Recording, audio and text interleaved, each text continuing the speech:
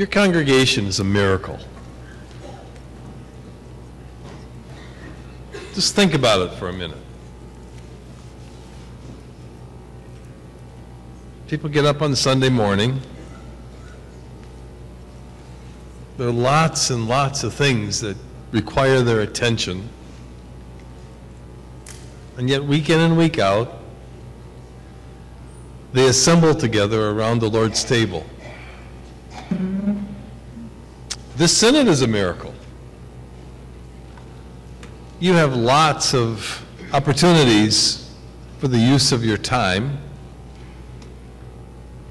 And yet, because Christ has called you, you're here. You're here to do the work of the church. The longer I work with congregations and see congregations and have a chance to visit congregations and synods, the more I realize this is a miracle. This is the miracle of baptism. This is the miracle of being together. And so as we move forward, we move forward together. Now that's that's tricky business. Because every ministry needs to be nimble and responsive. And as the years go by, we need to be more nimble and more responsive and more attentive to opportunities that present themselves to us. And being together doesn't mean we walk in lockstep, but what it means is that we have, we have a stake in each other's well being. And we really are sisters and brothers in Christ. For me, I was taught this as a young pastor by a wise, wonderful, then retired, now singing God's praises in heaven, UCC minister down the street from the church where I was a pastor. He made a point of coming over to see me. And I remember, I'll always remember what he said to me.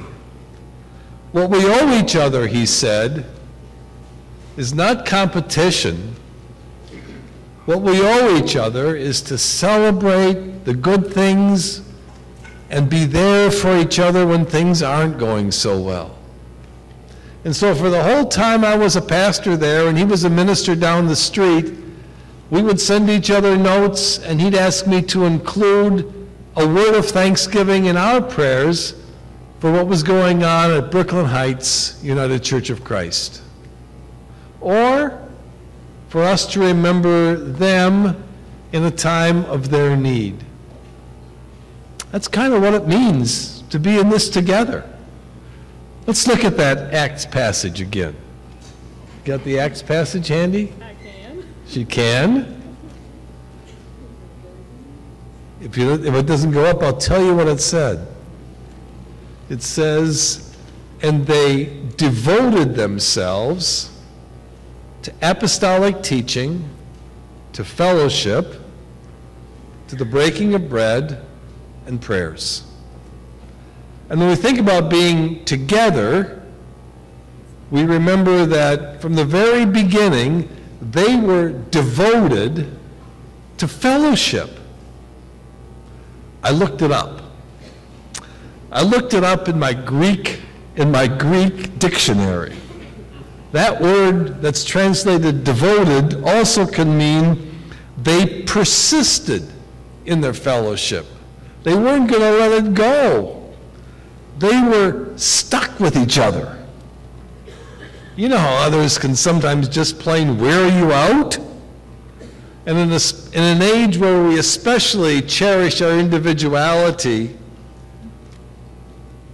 we're in this together. As a synod, as a church, as the one holy Catholic and apostolic church.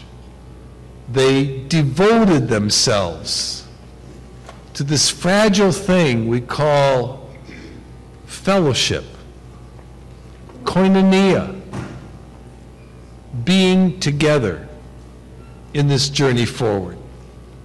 Got the word journey in there. I don't know if you noticed that or not. Well, there's a video that I saw of a congregation that's doing some work that I thought would be instructive for you to look at right now. It's a congregation that has what they call a blue jean Sunday. And are we ready for that?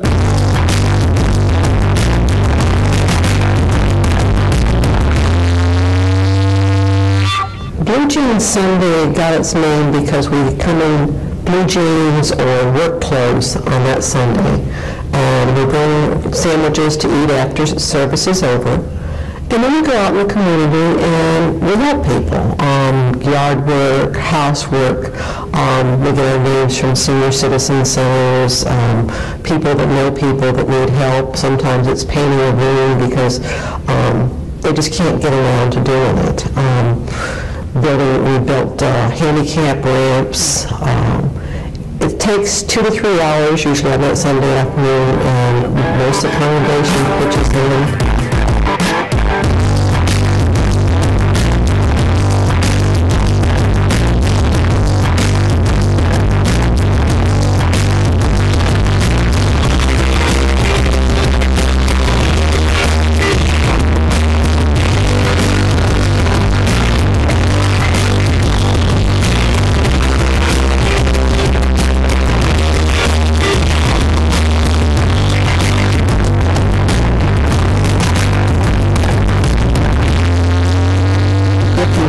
Done Blue Jean Sunday in the past, you need to. And if it's, if you have some type of physical handicap, um, work things out for what you can do. Um, so if it's just watching the, the little ones here, for some mothers and fathers be out and do it, or if it's just, uh, you can be watching the connects, if that's something you need. It doesn't have to be physically challenging for you to be able to participate in Blue Jean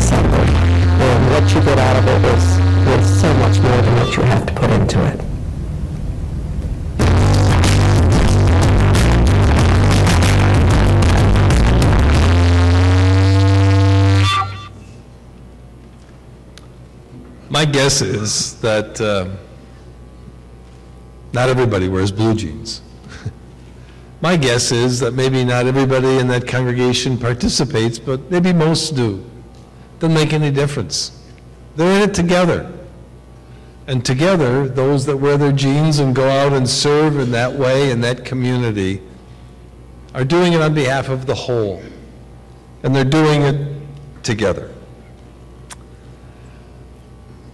When I was in Ohio two weeks ago, leading the uh, Synod Assembly, it was great to be back and to see people I hadn't seen in eight years, to be reconnected with some of the congregational leaders.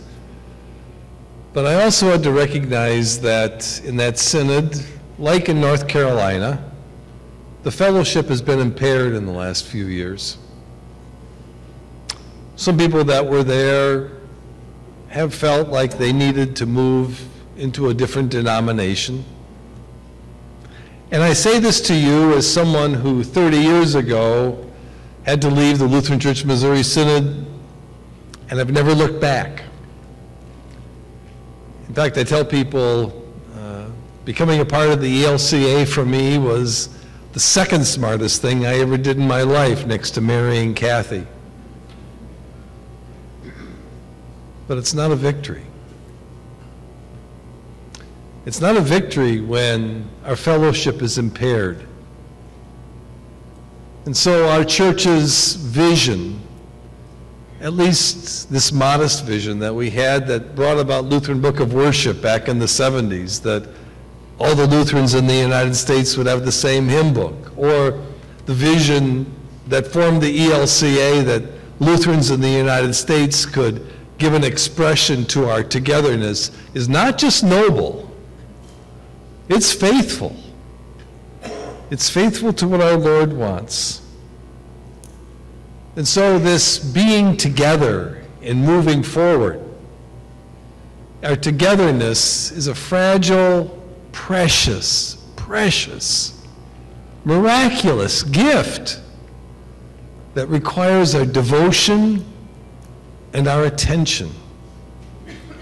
So when someone else has some reason to rejoice, we all rejoice. When someone has a reason to be sad, we're all saddened. I think we've come to a point in the life of the church in the United States where we need, need to reimagine what it, need, what it means for us to be members of a congregation. Now, I say this as someone who believes that we need to keep accurate records and we need to be responsible for those for whom we are attentive in our congregations. But about 12 years ago, there was an incident that occurred that reminded me of this or that taught me this lesson. A police officer in the west side of Cleveland was shot and killed during a drug raid. The perpetrator was quickly arrested, but the community, which was very poor, very poor, was very anxious, and there was vir- virtually a shutdown of, of, of that community. The pastor of Martin Luther Church on Madison Avenue asked me if I'd come and just visit with him. He was right in the middle of that neighborhood, a very small congregation by all of our measurable standards, about 20 or 30 people in worship on Sunday. It's now closed. But as I walked with Larry up and down the streets of that neighborhood, everybody that saw him called him pastor. And I realized in many ways he was their pastor. And membership in that context was a lot bigger, and our togetherness was a lot broader than sometimes we even imagine. So as we move forward, we do it together with ourselves and with a lot of other partners. Let me just talk about some of the dimensions of our togetherness, of our fellowship. Our congregations, like we saw on Blue Jean Sunday, that we do things in the name of Christ together. Maybe not always agreeing, but together. We have a fellowship with those who've come before us. For some of you, in your congregations, that's been a long legacy. These are saints who have entrusted to us the ministry of this place. We do it together with colleagues, clergy, who have colleagues who can listen and talk and offer advice, especially for those who are more experienced, giving advice to those who are younger. And yet, as I look at our young pastors and had the privilege of being at the seminary, our young pastors have a lot to teach those of us who've been around for a while, too. But not just clergy. When congregational presidents have a chance to be together and encourage each other, when, as Bishop Bolick has had a vision, congregations that are similarly sized can come together and can help resource each other and give each other thoughts and ideas and hopes and dreams for what their future might be. That's part of our togetherness and our fellowship.